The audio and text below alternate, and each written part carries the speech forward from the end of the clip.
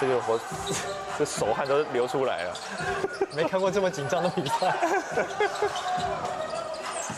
泽文迪拿球，李学林进攻时间剩下九秒，他们一个掩护，李学林给进去，篮底下再给，有了，好球！不太好，哇！